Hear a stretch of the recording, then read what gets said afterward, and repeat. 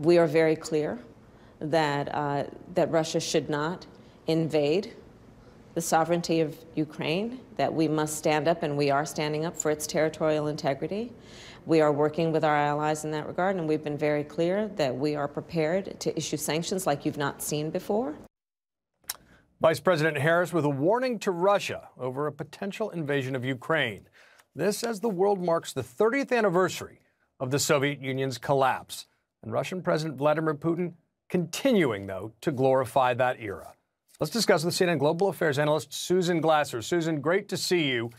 Susan, one of the mysteries of, of this shift inside Russia is that millions of Russians were killed under the communist regime, especially under Stalin.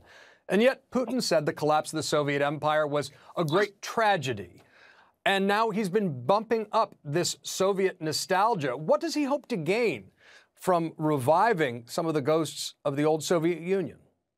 You know, this is uh, really, I think, a, a, central thing to understand about Vladimir Putin's two decade leadership of Russia is that Soviet uh, nostalgia, as you called it, John, is, is, is at the core of his appeal as a politician. Uh, a sense of grievance. Uh, you know, he was actually all about making Russia great again uh, long before Donald Trump was talking about making America great again by looking backwards. Uh, it was back in 2005, in fact, that Vladimir Putin said the breakup of the Soviet Union was the greatest, not just a great tragedy, but the greatest geopolitical catastrophe of the 20th century. Never mind World War II, never mind uh, the Gulag, never mind World War I. Uh, he's continued that just this week, in fact. He called it a historical tragedy. And he's all about essentially trying to revise and to get rid of the international uh, order that was constructed on the collapse of the Soviet Union. Well, and that certainly is the danger. And I understand we're joined now by Anne Applebaum from The Atlantic, herself an esteemed author of books on many things Soviet and defense of the democracy related. Uh, and what do you make of this Soviet nostalgia articulated by Vladimir Putin? What does it say about his ambitions on the Ukraine? And do you think the Biden administration's pushback has been strong enough to deter him to date? So, to be very clear and to echo Susan, it's extremely dangerous, the language that he uses, and he has been using it for some time. Um, because, of course, there's no logical reason why Russia should invade Ukraine. Ukraine does not threaten Russia. NATO does not threaten Russia. NATO is a defensive alliance. Um, everybody who works in the Russian military knows that. Um, and so Putin is using this language of the past, of threat, of the Cold War, as an excuse to prepare his people perhaps for an invasion or perhaps for another set of games around that. Um, and for him, this is a justification. Uh, it explains both. It explains why he should still be president. Um, he's somebody who is, um, you know, famously corrupt. Most of the population now knows that. Um, his popularity has been declining rapidly. Um, living standards in his country have been going down. Um, so why should he? by what right? By what legitimacy does mm. he hmm. remain in power? And his argument is that because I'm the one who's going to put the Soviet Union back together again, and that's why it's dangerous. Um, the the Biden administration has done one very good thing, which is that they began raising the alarm about this problem, about the potential the potential for a Russian invasion of Ukraine several weeks ago, um, and they have alarmed European allies. They have people aware of what's going on. They have people in Ukraine aware. They seem to have a lot of intelligence about what's going on. Um, and that's really important.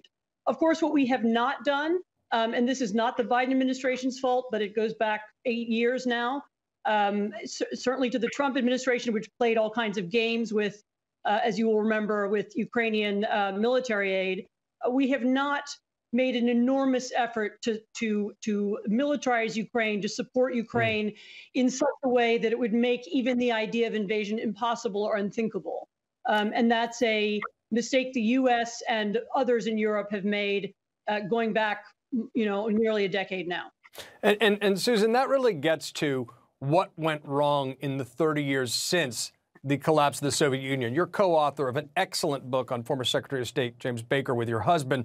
Um, and I wonder, in your research and interviews for that book, what Baker feels went wrong, what you believe went wrong where we, we lost this opportunity uh, and instead have fallen back to some of these Cold War divides and rhetoric. Well, I think I think Baker, the former Secretary of State at the time of the collapse of the Soviet Union, his argument would be that actually a lot went right in the sense that it was a largely peaceful and uh, uh, and empires collapsing is probably one of the most dangerous uh, uh, geopolitical moments. Uh, uh wars uh, of many different varieties were possibility at that time. A few did break out, and I think you know the imperative of the United States at that time under George H. W. Bush and Baker was essentially to hit a, as soft of a landing as possible to ensure that there wasn't uh, you know a cataclysm that resulted from this incredible moment of instability in the world order. They reconstructed they essentially patched together the post World War II institutions uh, for a new era. And now we've seen the unraveling of that, uh, largely aided and abetted by Vladimir Putin. Putin is in a much stronger position than he was two decades ago when he came into power, uh, in the sense rebuilt the Russian military. And it's not theoretical that we're talking about can Vladimir Putin invade Ukraine because he already did so in 2014. And so what's striking to me is that the need that he has felt to manufacture this crisis. I just can't underscore that enough. There is no imminent threat of NATO expanding into Ukraine, as he claims. Ukraine is not any closer, really, to joining NATO today than it was in 2014 when Putin invaded it the first time and took over the Crimean Peninsula and illegally. Yeah. So that's a very important point for people to understand. It is. And and I wish we could keep talking about this. And you've written so much about kleptocracies and the money laundering side of of, uh, of, of, these autocrats, but we're going to have to leave it here for now. Susan Glasser and Anne Applebaum, thank you very much.